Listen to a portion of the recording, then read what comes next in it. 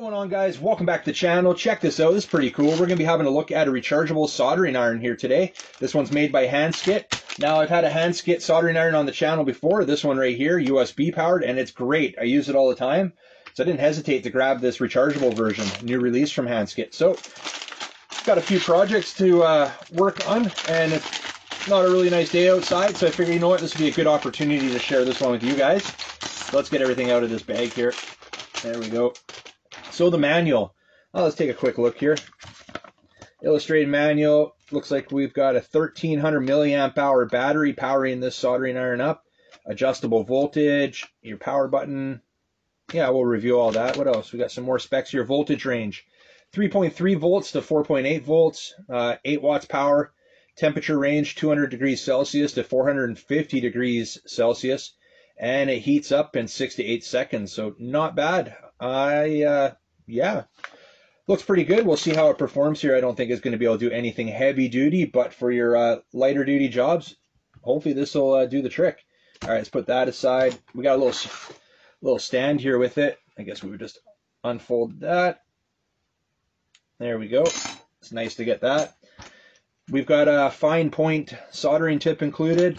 There's your charger right there, USB charger. So I'm guessing, well, we'll have a look at it. Let's pull out the soldering iron. So that's nice. Nice kind of chrome finish on it there. Now right here is your adjustable uh, temperature. So you can see right there it's labeled 4.8 volt and we can adjust that down 4.3, 3.8, all the way down to 3.3 volts there and back the other way. So that's cool. It's got an adjustment uh, knob on the bottom there. So that's where your soldering tip would uh, screw into and also the charger. Let's undo the charger here. So I believe, yeah, it looks like your charger just screws in. You screw in the soldering iron to the charger there like that. Plug it in. There's an indicator light on the charger. So right there, you can see it's currently red now. So it's charging, and when it's fully charged, that red light will turn green. But we're not going to wait for it to fully charge. We're going to get at it here. So let's put that aside. We'll take the tip here. Now these tips are easy to get. I'll leave links in the description for replacement tips. And um, a few of my soldering irons use these same tips. So you can get different. You can get uh, different size tips as well. Now to turn the soldering iron on, the power button's right here. You're going to press it five times. And you're to see the lights blinking there that confirms it's been turned on. Now it's not heating up yet. To heat it up, you're just going to hold the button now and it said what six to eight seconds so we should be heating up.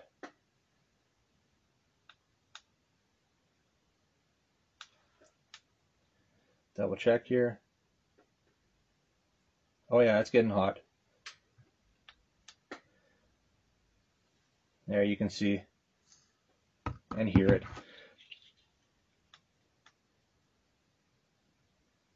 We're just going to tin the tip here. Not bad. So we've got the board set up here. We're going to turn the soldering iron on, or heat it up, I should say. Now, I'm just checking something here. Sometimes these soldering irons only allow you to hold heat to it for a certain amount of time. Some, yeah, there we go. See, it's blinking and it turned off. So keep that in mind. I'll have to look it up. I'll put it up on the screen if I can find. Usually it's about 15, 20 seconds, something like that. So soldering iron's hot. You just have to release the button and activate it again. Oh yeah, it's melting that pretty quick. I'm not even on the right. Well, that was quick. And we got a lot of solder on this negative lead. No problem, guys. That that actually worked out quite well. I'm impressed. That was quick. We got that lead off, no problem. So the next thing I'm going to do is I wanted to solder that to this uh, connector here. So that's what we'll do next on here. And we're going to start by preheating the soldering iron. I still have it set, let's see, to the 4.8 volts to the highest setting. And I'm just going to go through some power cycles here. I'm finding this works best. Just let it go through a power cycle, let it heat up. It's already starting to smoke, so I'm thinking that uh, six to eight seconds is not too far off. I'm going to go through one more time here and you can see we're definitely up to a heat here. And I'm going to be releasing that that button every, uh, you know, 10 seconds or so. Just letting go of it and pressing again to keep constant heat to the iron. I'm going to get some solder on there.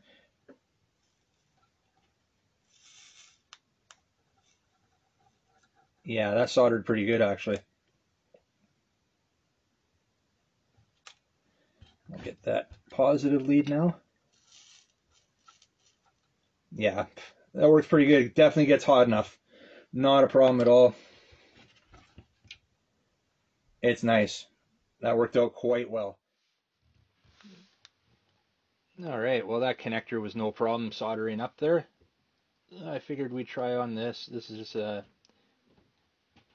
board here that, uh, well, a switch that's not working anymore. And look at that, desolders just fine. Now anything smaller than this is kind of beyond my skill set.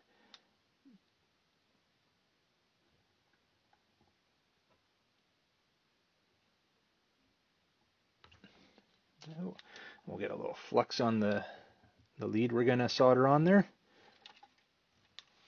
Get some heat to the to the iron.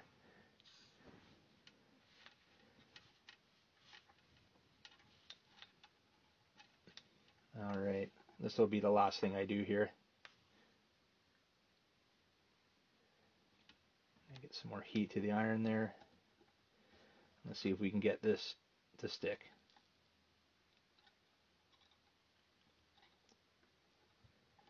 Kind of at an awkward angle here.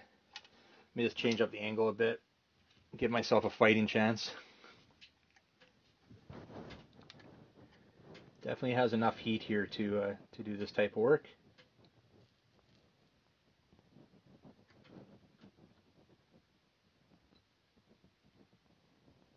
Not the prettiest, but I got it done.